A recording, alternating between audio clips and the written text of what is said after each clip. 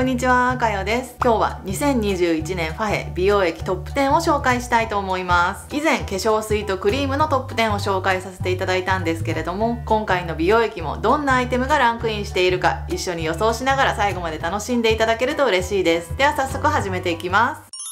まず第10位はこちら。アンプル N セラミドショットアンプルです。こちらお肌のバリア機能をサポートする3つのセラミド。セラフルコンプレックス5万 ppm とアラントインが配合されているためお肌の保湿と鎮静ケアができる美容液です。テクスチャーはとろみがあり乳白色となります。なじませるとすごくみずみずしくお肌がもちもちふっくら保湿されます。伸ばした後はベタつき感なども気になりません。保湿系美容液の中ではかなり保湿力が高く濃厚な感じです。使ってみた感想はこちら。何度もリピしているお気に入りの美容液です。保湿力が高いのにもかかわらずベタつき感重たさ香りがない点など個人的に大満足のアイテムです。コスパもいいですしお肌にも優しい使用感なので乾燥肌さんや敏感肌さんはぜひ試してみる価値ありのアイテムかなと思います。続いて第9位はこちら。スキンフードロイヤルハニープロポリスエンリッチエッセンスです。こちらプロポリス抽出物63%ロイヤルゼリー抽出物10%蜂蜜抽出物10%配合で保湿栄養ツヤハリケアができる美容液です。テクスチャーはさらっとしたとろみタイプでプロポリス系の中ではかなりさっぱりしたみずみずしいタイプです。水分アンプルのようにスルッと馴染みベタベタ感や重たさがなくツヤハリ感を感じることができます。香りも甘すぎる香りなどもなくほぼ無臭に近く使いやすいです。使ってみた感想はこちらプロポリス系の美容液の中ではかなり使用感がいいと思いました。他の有名なプロポリス系のスキンケアと比べてみてもスキンフードが一番さっぱりと重たさがなくさっぱりと栄養補給できるような使用感です。プロポリス系のスキンケア試してみたいけどちょっと重たいテクスチャーは苦手だなという方ぜひチェックしていただければと思います。続いて第8位はこちら。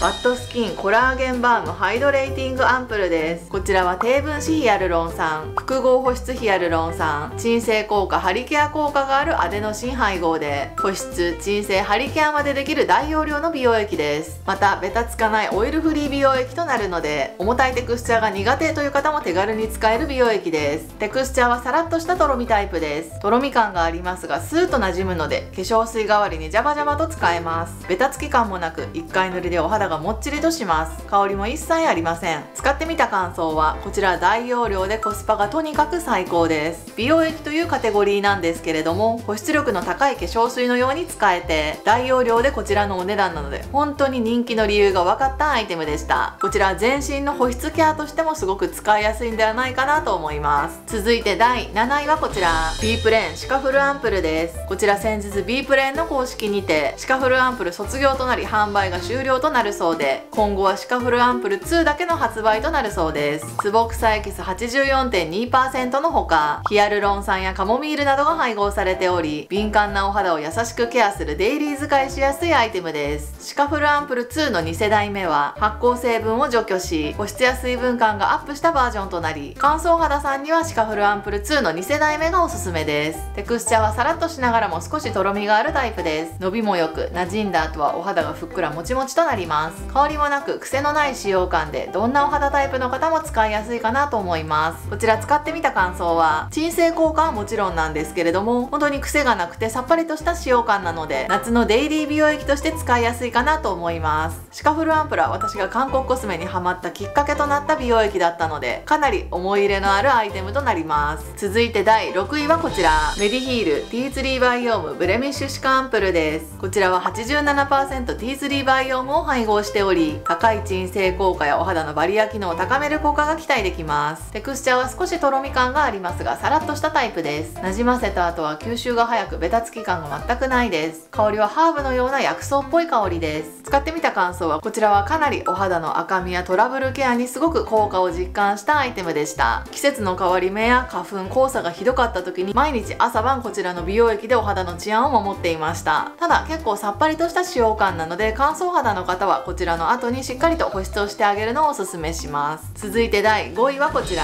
ワンシングドクダミエキスです。ワンシングは植物性原料100%のビーガン製品となり全成分 EWG グリーン等級のアイテムです。です。ドクダミはお肌の老廃物を排出し抗酸化作用をサポート。そしてお肌のトラブルなどを優しくケアしてくれる原液エキスです。テクスチャーはシャバシャバの水タイプです。かなりさっぱりとしていてこれだけでは乾燥肌の私はかなり乾燥します。第1段階の拭き取りとして使ったりパックのようにして使うのがおすすめです。香りはザ・ドクダミという感じの薬草の強い香りがあります。使ってみた感想はこちら本当にシンプルなドクダミエキスなので保湿美容液として使うのは正直物足りないないかと思います。肌荒れ時のコットンパックや部分パック用としてトラブルが出た時などに普段のスキンケアにプラスしてあげるという使い方がいいかなと思います。続いて第4位はこちら。B プレーンシカフルアンプル2です。こちら先ほど紹介したシカフルアンプルの2世代目となります。シカフルアンプルから発酵成分を除去し低分子ヒアルロン酸グリセリンなどの水分保湿成分の配合量がアップしたバージョンです。お客様の声を反映して1世代目からバージョンアップしたそうです。テクスチャーはさらっとしながらも少しとろみがあるタイプです。伸びもよく馴染んだ後はお肌がふっくらもちもちになります。ベタつき感もないのでお肌の調子が悪い時は少し多めの量を使ったりコットンパックするのもおすすめです。使ってみた感想はシカフルアンプルシカフルアンプル2とどちらも使用してみたんですけれども正直私はあんまり大きな差は感じなかったです。ただシカフルアンプルの1世代目は乾燥肌の方には保湿力が足りないというレビューがあったそうなので乾燥が気になる方は2世代目をチェックしていただくのがいいかなと思います。続いて第3位はこちら。オールナチュラルドクダミケアセラムです。こちらドクダミエキス50%高分子ヒアルロン酸。4種のベリーエキスアラントイン緑茶エキスなどが配合されており優しくお肌を鎮静しながら水分補給する弱酸性の美容液です。オールナチュラルダジャヨンはシートパックが有名でファヘでもいつもシートパック上位にランクインされているんですけれども同じシリーズのこちらの美容液もすごく人気があります。テクスチャーはみずみずしいとろみタイプです。水分感たっぷりでお肌にスーッと馴染みます。馴染んだ後はお肌がもちもちになり保湿力も高いです。香りはさっぱりとしたハーブ系の香りがほのかにあります。使ってみた感想はこちらドクダミケアセラムという名前ですが保湿力も高いので乾燥対策とトラブルケアが同時にできる美容液かなと思います。ただ Qoo10に公式がないのでちょっと購入しづらいかなとも思うんですけれども気になる方はぜひチェックしていただければと思います。続いて第2位はこちら。エスネイチャーアクアコラーゲンペプチドトリプルジェルエッセンスです。こちら小じわをケアするファーストアンチリンクルエッセンスとなり導入美容液として使うことで弾力水分鎮静ケアができるアイテムとなります。8種のヒアルロン酸ペプチドアデノシンコラーゲンのほか鎮静効果のある様々な植物エキスが配合されておりお肌の障壁を強くするサポートをしてくれます。テクスチャーはみずみずしいジェルタイプです。伸びが良く油分感がなく伸ばした後は水分感あふれるもちもちの吸い付くようなお肌となります。香りも一切なく季節問わず使いやすいです。使ってみた感想はこちら本当に出会えてよかったお気に入りの美容液です。洗顔後にこちらの美容液と同じシリーズのクリームの2つだけのシンプルなスキンケアでも翌朝まで乾燥することなくお肌に張り弾力が生まれるのを実感できたアイテムでした。こちらジェルっぽいテクスチャーでベタつきや重たさも全くないので乾燥対策はもちろん年齢サインが気になるという方の美容液としてもおすすめです。最後第1位はこちら。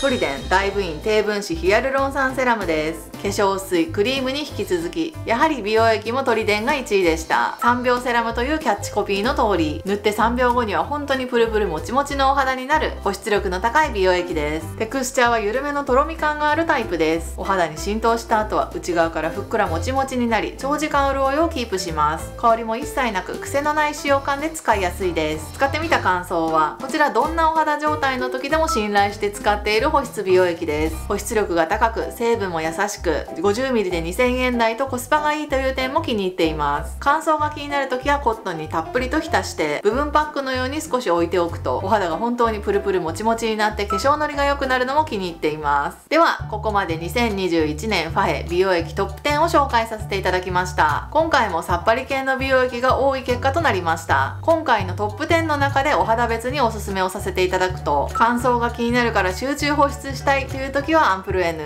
お肌のトラブルケアをアをしたいという時はメディヒール年齢サインのケアをしたいという時はエスネイチャーがいいかなと思いました。今回のトップ10の中でのお肌別おすすめとなりますので少しでも参考となれば嬉しいです。インスタでも動画のまとめを紹介しておりますので合わせてフォローしていただけると嬉しいです。こちらの動画が参考になりました方高評価やチャンネル登録で応援していただけると嬉しいです。ではまた次の動画でお会いいたしましょう。バイバイ。